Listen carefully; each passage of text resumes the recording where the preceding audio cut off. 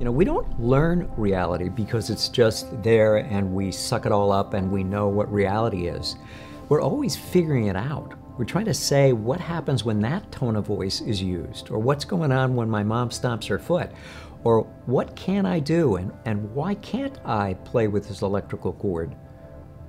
We put our reality together, and the consequences for this is that we may shut down from conclusions we reached when we were 18 months old, all kinds of possible pathways.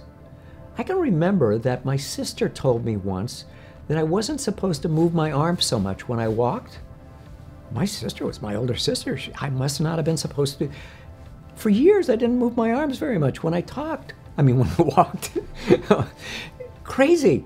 But there are all kinds of things like that that get inserted because we thought we drew a correct inference. We saw this and that happened, and we put two and two together, and it wasn't two and two at all. You have a bunch of limits that you're carrying around like garbage because you collected all these mad scientist ideas, but you weren't very smart about how to put it all together. And you can put things together and they can hold for you often enough that you'll stay with them and you don't even realize that it isn't reality at all.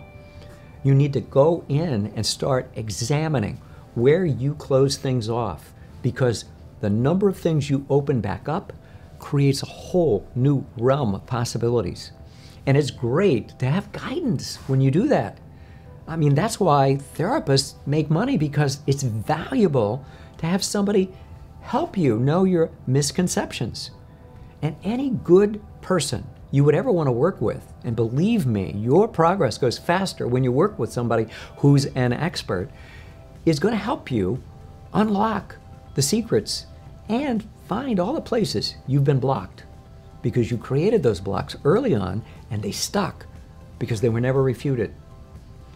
Get into a process of refuting the bogus ideas you have. It's going to open you up and make success come much more quickly. Believe me. Since you're a high achiever, you may know about this. High achievers often hit a wall. They're going along, they're having one success after another, and then suddenly something happens and they grind to a halt. And it's confusing because they're not sure what it is they've done wrong, if it's anything.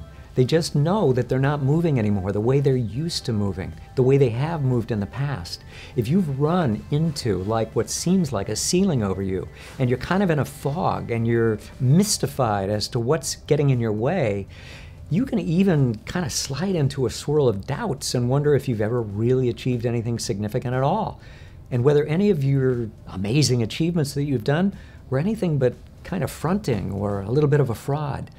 That is really negative and pernicious, and it doesn't have to be that way. I want you to go get a free report from me. Go to drkenchristian.com forward slash breakthrough and receive from me this free report with action steps that are going to tell you exactly what to do now to get you going.